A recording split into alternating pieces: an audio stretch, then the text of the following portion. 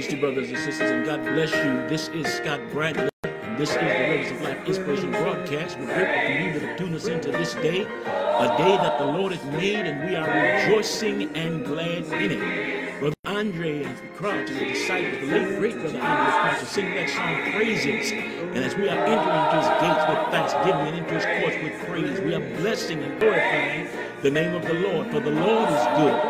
His mercy is everlasting, and his truth endureth to all generations. God bless you. We thank God for those of you that tuned us in today. Ask you to come on in. We've got a word to share with you. We've got something to talk about. Amen. There's other things to share. The Lord is good.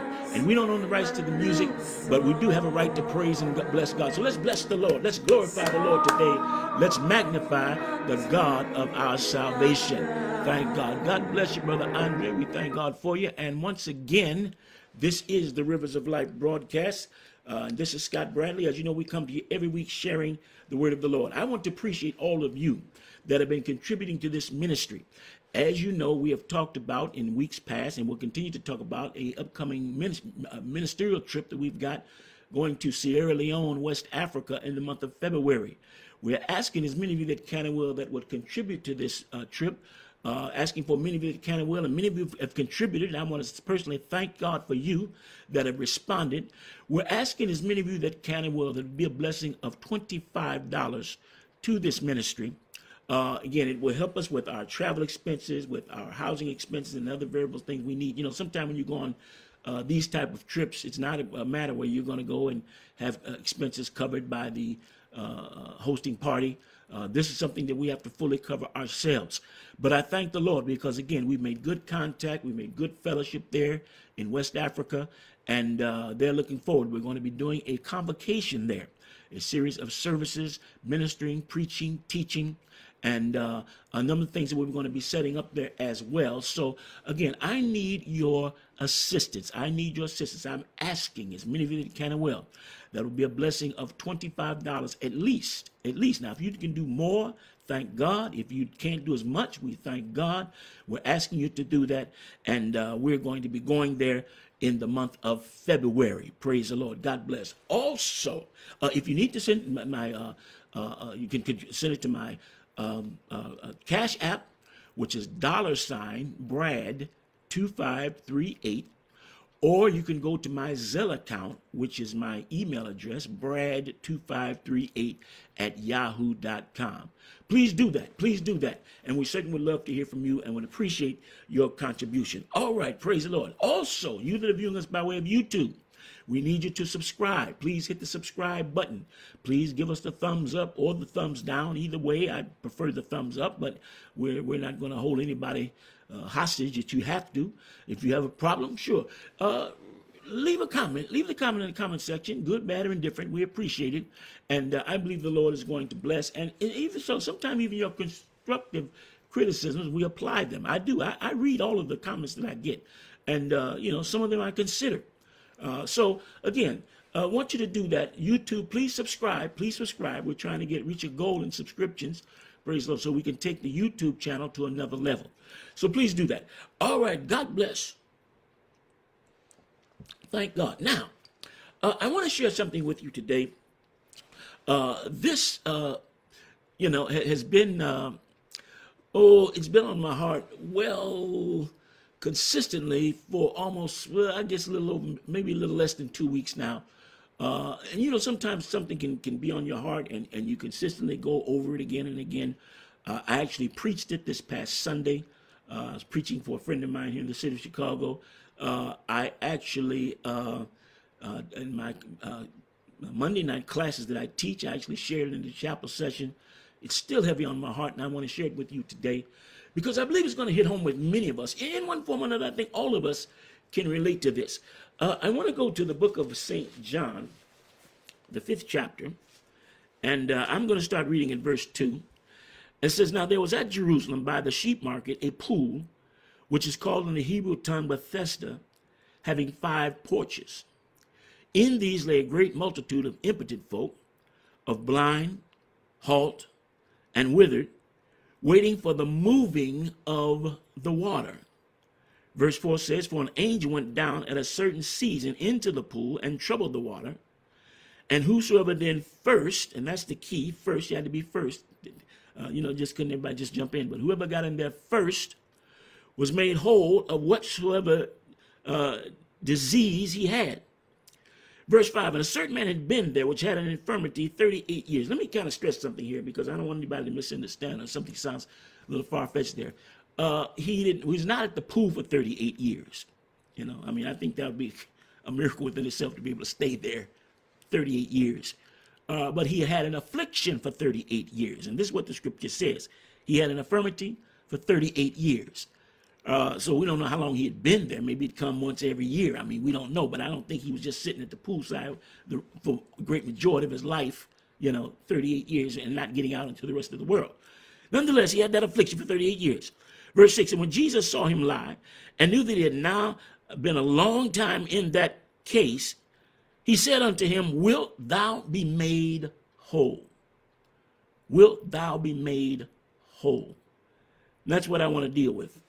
Let me finish it up. The impotent man answered him, said, Sir, I have no man when the water is troubled to put me into the pool.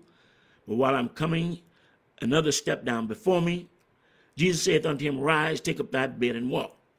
And immediately the man was made whole and took up his bed and walked, and on the same day was the Sabbath. But the question that he asked, and what I want to deal with today is, Will thou be made whole? Made whole. What does that mean? Not just will you be healed, but will you be made whole? Uh, a lot of times people can be healed and yet not be made whole. And I'm going to tell you what I mean by that. Some of you have experienced, matter of fact, I think all of us one time or another, those who particularly believe in, in healing ministry, can be healed of an affliction. Uh, you come through the prayer line, for example, and pray for me, my stomach hurts, and, and the preacher prays for you. I prayed for you. You know, you, oh, I feel better. Oh, the Lord has healed me. Thank the Lord. But days later, it'll come back. And some of you have experienced that. You wonder, why did it come back? I thought I was healed. Well, in many cases, brothers and sisters, and listen to me when I tell you this, sometimes you can have the symptom of a situation healed, but the source of the situation remains. And the reason why it comes back is because even though you've been healed of the symptoms or healed of the the uh, the uh, uh, repercussion of it, if I can use that term, you know, you have the source, and then you have the repercussions of the source, which uh, inevitably can be, you know, backache, headache, heartache, stomach ache. You know, a lot of times the afflictions that we have in our physical body is not really the source of the trouble. To be made whole now means that the Lord goes to the very source. And sometimes when God goes to the source, the source is not necessarily the symptom, but it is the source that causes the symptom. So you can be healed of the symptom or made or relieved, I should say, of the symptom, but the source remains. Now, Jesus asked the man, and remember, the man had an affliction. The man's affliction was 38 years. A lot of things can happen when a, a person is afflicted with the same thing, or even allow me to say goes through the same thing for a long period of time, because it can have long-term effects, even though it is the are not the source, the effects are the result of the source. So to be made whole means that the Lord goes to the source of the problem and delivers us from the inside out. In many cases, that's what people need. They need deliverance from the inside out. See, it's not the outside in, it's the inside out. What's happening on the outside, if I can reiterate, is not the source. So Jesus asked the question, Wilt thou be made whole? The word whole means to be entire. Will you be made the, uh, entirely? It means complete. It means full. If one is made whole, it means all of or total. So he didn't ask, would you be healed? You know, because again, as I said before, you can suffer the same thing for so long. You know, it reminds me of, of a preacher that used to always say, you can be sick for so long until you get sick of being sick. And it makes you sick all over again. Yeah, that's what happens because again, you you suffer with the same thing. Other things begin to happen as a result. It's just like you know, uh, many people that are in abusive homes growing up or abusive childhood or been physically abused, sexually abused, emotionally abused, it can have long-term effects. You know, I've dealt with uh, people uh, sometimes uh, counseling marriages, and I haven't done a lot of that, but but I've done a few. And, and a lot of time I'll ask uh, each one. I ask the girl, what was your relationship like with your father? You know, or I asked the, the man, what was your relationship like with your mother, or even your father? You know, in many cases, if they had a bad relationship, their mother was abusive to them, verbally abusive. Father was physically abusive, and yes, sometimes even sexually abusive, which is a horrible thing. But it happens, and it happens uh, more often than people admit to. It happens uh, more often than you may realize. And oftentimes, because of this that has traumatized the childhood or even the early teens, when a man or woman goes into a relationship and even marriage, this baggage, which sometimes has been suppressed, is still there. And even though it may not come out right away, as time progresses and and couples will go through what they go through with married couples will go through trials they'll go through tribulation they'll go through testing you know? I mean don't let anybody tell you that that their entire marriage was just a honeymoon you know? I mean and, and take it from me a man that's been married 42 years uh, the entire marriage has not been a honeymoon you know? We've gone through things uh, we've gone through uh, uh setbacks uh, disappointments uh, resentment these things happen but time heals all things. And this is I oftentimes say to people that are married, in marriage, you know, time can heal wounds.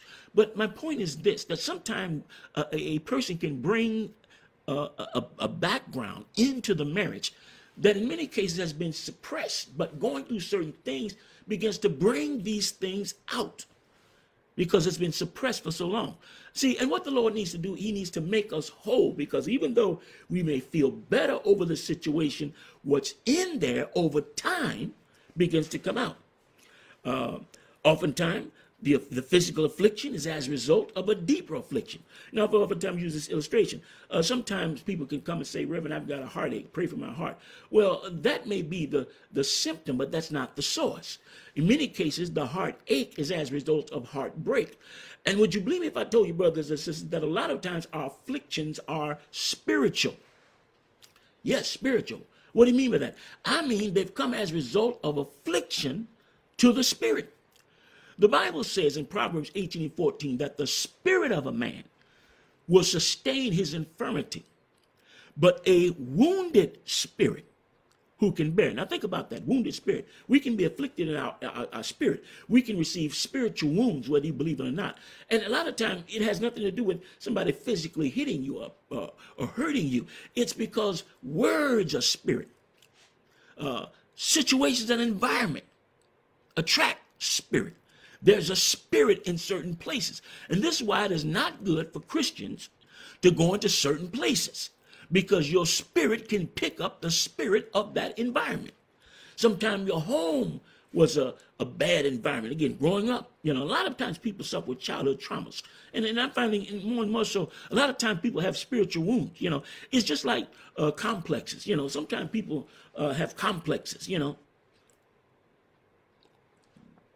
Complexes over uh, big feet, big head, you know, birthmarks, uh, color complexes. You know, a lot of times we can bear these things, and most of your complexes, and you heard me say this in times past, most of your conflict, your, your complexes, uh, don't come in as a result. They start in childhood and follow you into adulthood. And sometimes you think that you've gotten over it, but you can you can encounter a certain situation. Somebody can say something to you, and it'll revive that wound that you've actually suppressed in your spirit for a long time. Some things have just been suppressed, but they're still there. And as a result of suppressing those things, some things it can affect us in other ways. Now, now let me not get too far off of this because I want to go to the point of spiritual wounds. Uh, the Lord dealt with me on this a number of years ago, and I've talked about this in times past. but uh, you can uh, you know, because we consist more spiritually than we do physically, uh, we can be afflicted spiritually. Some things can cut us in our spirit. What do you mean by that, brother preacher? I mean this. Uh, you consist of body. We all consist of body, soul, and spirit. Well, of course, the body is only designed for time. And believe me when I tell you, sometimes afflictions that you suffer in your body, you can heal with over time. You can be slapped, but but over time, the, the you know, it, it, heals up. You know, you can be hit in the face, hit in the eye, hit in the stomach, and suffer the pain of it. But over time, it, it, it can heal up depending on the severity of it. You know, but in the spirit, we can also receive wounds. And what is the spirit, brother preacher? As as as Jutta pokes to the soul. Well, the soul is the conscious state of you. The soul and the spirit are intertwined, but yet they're different. There's a difference because the soul is the conscious state of you. The soul is the intellect. The soul is the ability to hear, see, smell, taste, and, and feel. The, the soul, the five senses. The soul uh, has memory. But the spirit, and the Lord dealt me on this, the spirit of a person is a personality. You know, we all have different spirits because we have different personalities. Everybody is not the same. I don't care how you try to throw folk in the same category. There's something different, no matter who I look like, sound like, related to. There's something about my spirit or my character that's different, that's unique. Or I may be similar to somebody else. I may be at, bear attributes of, of family, uh, loved ones, uh, friends. Uh, but you know, you can pick up things along the way. Most of what we, our character is built over time over environments, over people that we know, people that influence us, and we can pick up things along the way.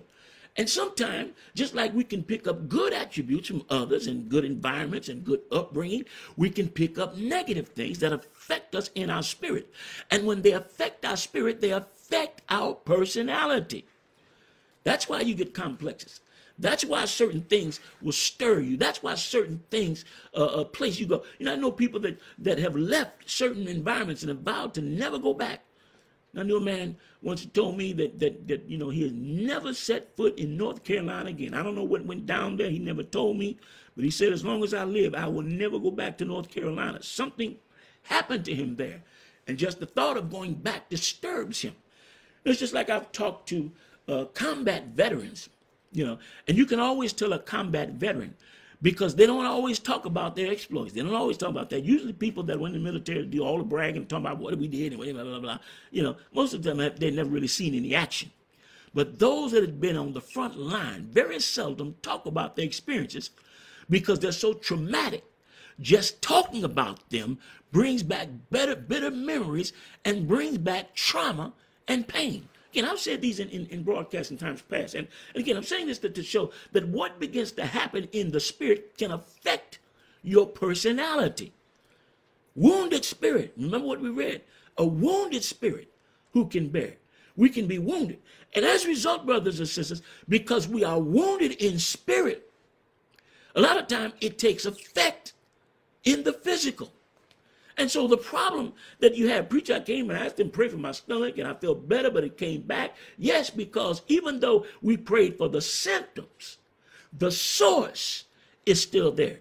Now again, notice what Jesus asked this man, going back to our theme scripture, wilt thou be made whole?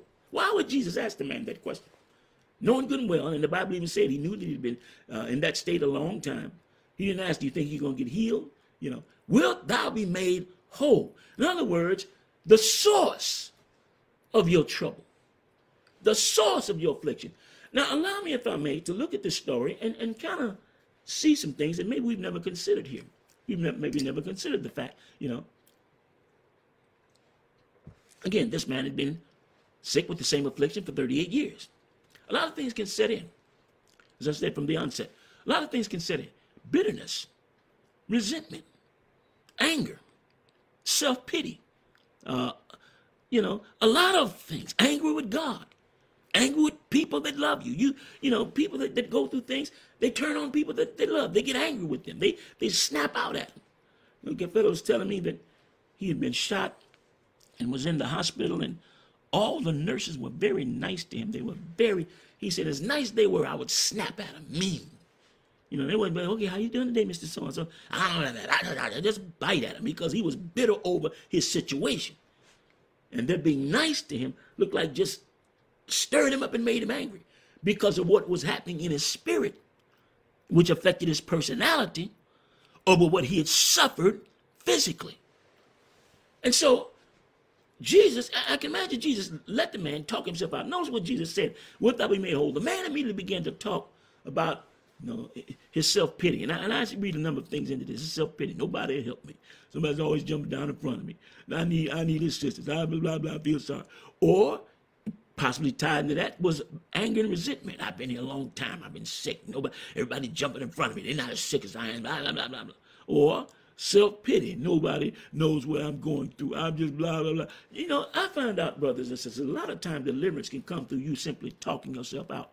And that's why we need to spend time with Jesus. And, you know, there's a song we used to sing, spend a little time with Jesus. Tell him all about your problems. You know, I, I honestly believe that's what we do. And even David said in the book of Psalms, I poured out my complaint before the Lord. Now, the Lord is not going to get upset with you if you start fussing. Sometimes you need to fuss to deliver yourself. Sometimes you need to fuss to get stuff off your mind, to get stuff off your chest. Sometimes you need to empty yourself. Uh, I, I, I, I, tell the story often of the uh, woman uh, who came to her pastor because she was upset with her husband. Uh, she was mad to the point where she was ready to leave him. And according to the story, when the woman came to talk to the pastor, she was just mad, just nostrils flaring, eyes bloodshot, sweat popping from her forehead. And the pastor, I'm coming to you because you're the pastor. I respect you, but I'm leaving him. I'm, I'm through. I'm leaving him. And the pastor said, Really? What happened? He remained calm as the man was calm. He said, Really? What happened? Let me tell you what happened. And she went and began to fuss about the man and talk about him. Went all the way back to the days of courtship before they got married, how he did wrong and how he set up and how he missed appointments and how he blah, blah, blah. Just kept going on and on. And the pastor said, All I said was, Really? I mean, really, what else? And let me tell you what else. And she wasn't through. Went on and on and on. And went on a good 15, 25, half hour minutes. But about that time, she was exhausted. she was she was out of breath. And her eyes cleared up. And her nostrils were no longer flaring. And the sweat stopped popping from her forehead. And she was almost exhausted. And said, Pastor, he's a good man. he just need to be saved, that's all. But in other words, after she delivered herself, she felt better. And was no longer talking about divorce, no longer talking about leaving him. She just now she started to see the good in him. And sometimes, brothers and sisters, this is really what it takes to deliver us. Jesus let that man talk himself out. Let him talk. Let him talk. You know, and the more the man talked, I can imagine now it was short in the scripture, but I'm using my imagination that the man just had to deliver himself before he could be in position to be fully delivered. Sometime before we get fully delivered, we've got to empty ourselves. We've got to empty ourselves. Hallelujah. Jesus let the man talk. And as the man talked, he delivered himself. And when he delivered himself, he was now in position to receive a miracle from the Lord. Uh, you know, I, I, I, think about a young lady years ago, uh, and she was afflicted physically. She was, uh, matter of fact, she was wheelchair bound. And uh, remember talking to her once. Matter of fact, she called me. She wanted to talk to me as, as a minister. And this was when I was the Chicago Bulls team chaplain. And there were uh, this young lady was a, season ticket holder, a fan of the game. And she would come faithfully every game, wheelchair bound, sometime on crutches, uh, and sit there and, and, cheer on the team. And we got to be good friends. Uh, and uh, you know, she called me and said, uh, and she started talking to me about her affliction and how, in essence, she was upset with God and upset with the church because of affliction. Again, she didn't say that, but I could I could read between the lines. And she began to talk about what happened. And I said, Sister, I said, here's the main problem. I said, you need to be healed of your bitterness before you're going to be healed of your affliction. You know, uh, and and and I, we went back and forth with that. You know, and, and I more or less kind of left it at that. Now, and then I lost touch with her. And I don't know again what became of her.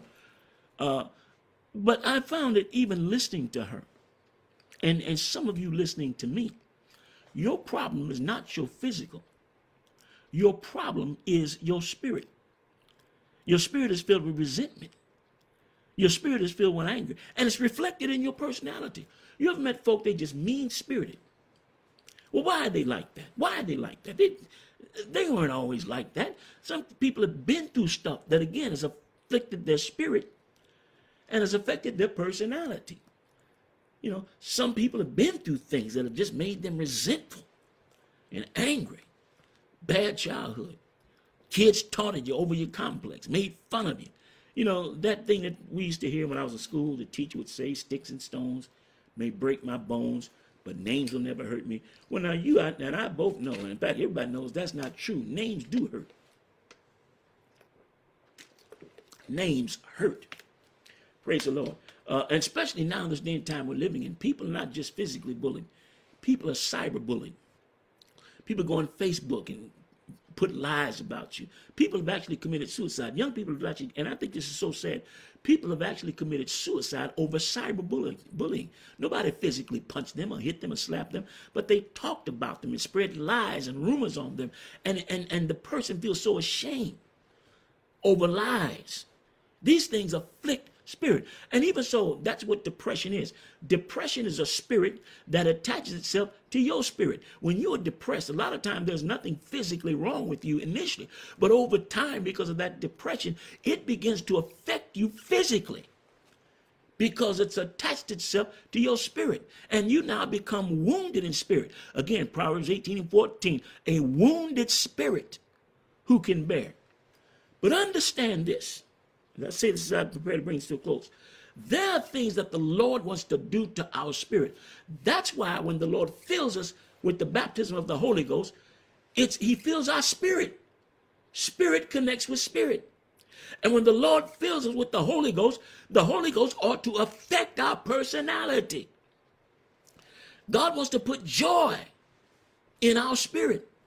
You know, one of the problems, brothers and sisters, with this uh, day and time where we are stressing, uh, you know, stressing prosperity, stressing money, cars, that doesn't give you joy.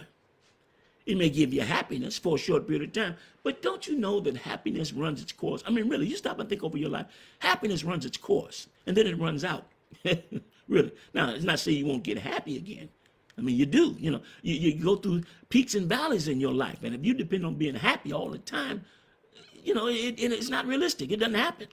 You know, you get new stuff, it makes you happy, but it doesn't give you joy.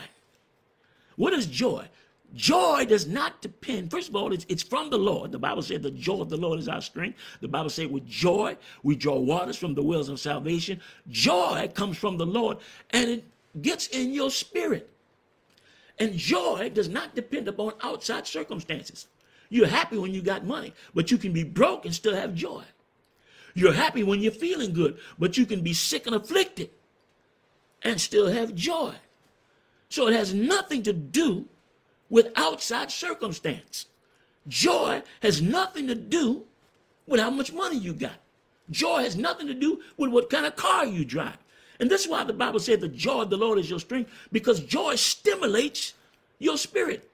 Your courage is full when you've got joy. Your love is full. Have you noticed that? When your joy is full, you can love people that do you wrong. You can love people that lie on you. You can love people that hurt you. And this is the problem that's happening with the 21st century church because while we're uh, stressing being happy and stressing being prosperous and express, uh, expressing having stuff, people got all kind of stuff. And yet hurting their spirit, still hurt, still depressed, can't keep nothing together. Can't keep your mind together. Can't keep your marriage together. Can't keep yourself together. You're upset. You're depressed. You're angry. You're ready to fight. You know why? Because you have nothing in your spirit. Or you got happy with the money, but that's gone. You got happy with the car, but that lost its luster. And you're still in the same place. And this is why when we're talking about being made whole, the Lord wants to get in our spirit the Lord wants to touch our spirit. The Lord wants to put joy in our spirit. The Lord wants to put peace in our spirit. This is what your spirit needs. It needs joy. It needs peace. Thou wilt keep him in perfect peace, whose mind is stayed upon thee. And you know what I'm finding, brothers and sisters? A lot of time, folk don't really have the peace of God. The Bible says that the peace of the Lord surpasseth all understanding. Everything can be falling apart around you. But when you've got peace, you just settle. It's going to be all right. It's going to be all right. Might be going through, but it's going to be all right. Things, not, God's got a way of working it all out. That's the peace that I have. That's the joy that I have. That's the, the, the belief that I have that God is about to work everything out, that everything is going to be all right. And because it's going to be all right, my faith and my joy and my purpose is in the name of the Lord. That's my faith. That's my joy. That's my peace. I'm trusting in the name of the Lord. All right, brothers and sisters, wilt thou be made whole? Wilt thou be made whole? Yes, you can be made whole. Yes, God wants to heal from the inside out. Yes, God wants to go to the source. And let me say this in my closing. Healing, and listen to what I tell you. There are miracles and there is healing. Miracles are spontaneous, they can happen right away. But healing, a lot of times, is a process. The Lord heals. And sometimes the process of the healing begins, and as you progress, it begins to manifest. Oftentimes, tell you all the story when I went through my period of depression. And my turning point was when I made up my mind, I'm not going to be afraid. I'm not going to run this. I'm going to stand my ground. If this is the way it is, I'm going to deal with it. And that was the turning point. I didn't get delivered right away, but it was the turning point. And as I continued to walk Was delivered. All right, God bless you. Listen, I want to encourage you uh, to please be a blessing as we're talking about. We've got a trip coming up to Africa in the month of February. I appreciate all of you that contribute. God bless you. We more you to be. I'm asking everyone that can really be a blessing of $25 to this ministry. You can go to my cash app, dollar sign brand 2538, or my Zelle account, brand 2538 at yahoo.com. That's my email address. Until next week, this is Scott Bradley saying God bless you. Oh, also, let me emphasize, please subscribe to my YouTube channel. You need subscriptions? Please do that. Until next week, this is Scott Bradley saying God bless you. I love you. Thank God for you. Look forward to seeing you again real soon. God bless.